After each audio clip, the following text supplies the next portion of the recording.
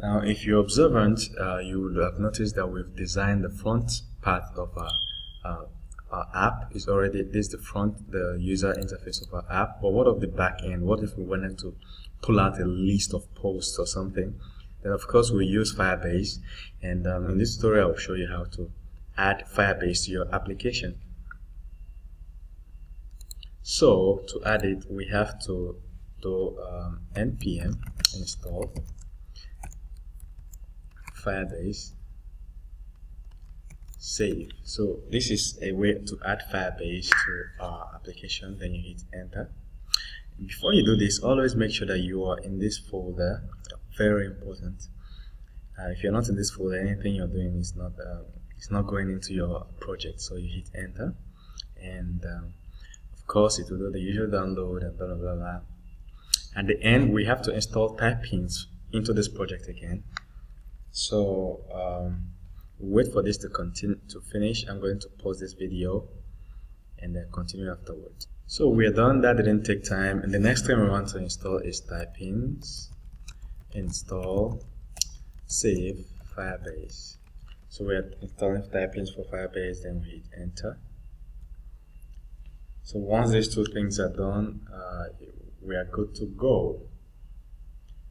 So I'm going to pause this video as usual and once the uh, installation is up and done, we'll continue after that. So it's completed and uh, don't forget that you might be getting some warnings that which you have to just neglect. In this tutorial, we'll just try and create a login page. So we'll say ionic G, that is for generate uh, page login. We just need a login page seriously. Sorry I had an error in my um, command so that's ionic. Ionic g login. And that's once that is done we'll try and create another page for reset password. And oh remember this guy. So ionic g um, reset password. Reset password. Hit enter and then we have two extra pages that we've created.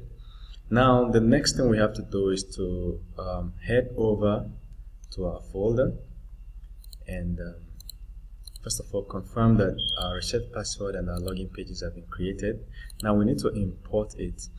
You head over to your app.ts inside this folder we remember this folder is what controls your entire app uh, here you have your tabs page. Remember I told you the tabs page is this page that has the page that has these guys. Now we'll see we'll see it further down the tutorial. Then uh, we have to import uh, our login page. Login page.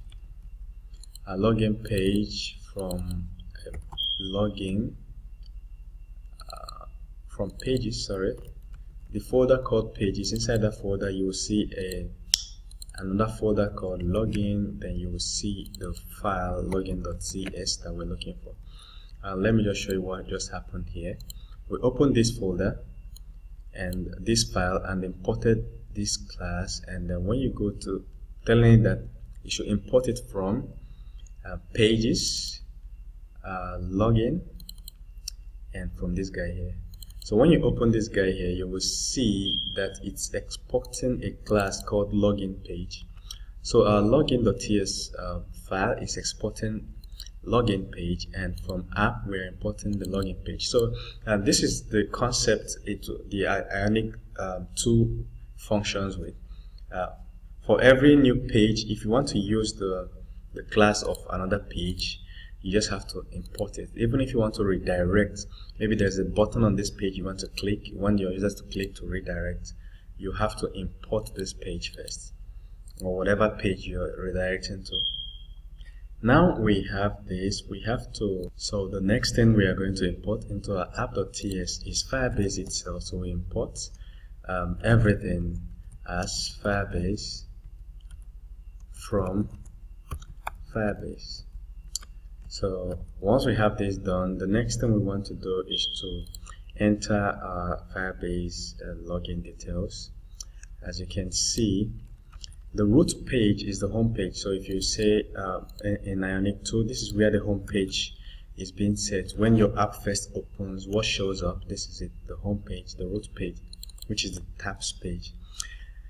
But then we're going to show a home page depending on whether the user is logged in or logged out so first of all we we add uh, uh, Firebase today so we head over to Firebase and um, right there in Firebase if you click on Auth remember here you click on Auth and um, it will show up and you see set up sign-in method. You click OK. So we have to enable a sign-in method here and um, the first one we'll enable is this people can log in with their email and password we enable it. Say OK then we enable Google sign-in uh, we'll say OK save. You have other ones you have github you have twitter you have facebook and um, once we are done with that we'll click on web setup. As you can see we just click on web setup. It gives us a code that we have to paste into our app. And um, we copy the code. We're going to copy this guy up to this point. So with this code now we'll put it right into our app. There we are on our app so we'll click we'll paste it inside the constructor of your app.ts inside the constructor inside here. And you click on I'm going to comment this guy out. So we'll paste it here. Our Firebase login credentials yours the numbers here will be different for everybody. Yours might be different. Okay so the next thing we want to do is to check um, when the user is logged in a different page should show up when the user is logged out a different page should show up so this is how we'll write the code write uh, Firebase. So what we have here is um, we have Firebase dot auth and um, we have on auth state changed. Once you have user, you're going to have um, this guy then uh, we have a promise returned.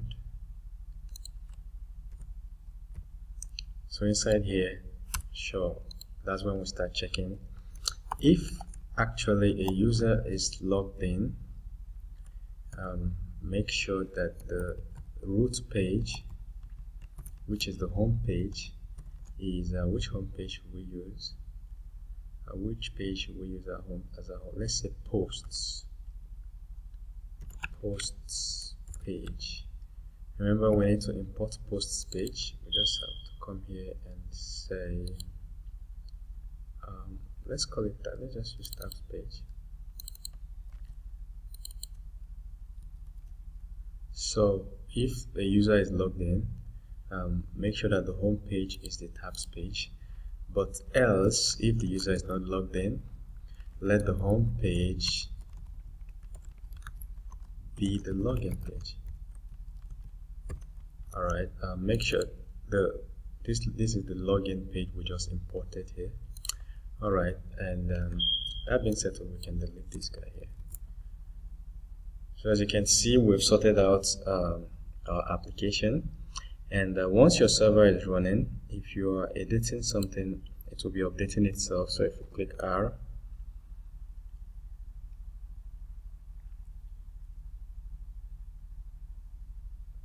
well well well well. Oops we have an error somewhere as you can see. And once once your uh, command prompt is running and uh, your server is running that if you if you have an error you would see it on your command prompt as you can see on in app.ts on line 34 we have an error. So we have to go back to our code uh, app.ts and then we'll scroll to line 34 and then confirm the error that we have. Yes of course we have an error somewhere here. Um, this is supposed to be this error. So we save. Once we save as you can see the um, the server will run by itself again and our app will show up. Alright otherwise you can just refresh by clicking on R and hitting enter. As you can see the the page is reloading and uh, when it's done we, our app should show up here. There we are. As you can see the user is not logged in and automatically the code we wrote here has taken place. So this is the page the login page is the page that is displaying since the user is not logged in. So in the next tutorial we'll continue with building a login page. So thank you very much. Don't forget to subscribe to my youtube channel. You visit youtube.com slash c slash org and you pan to the right and you hit on the subscribe button. Thank you. See you in the next video tutorials.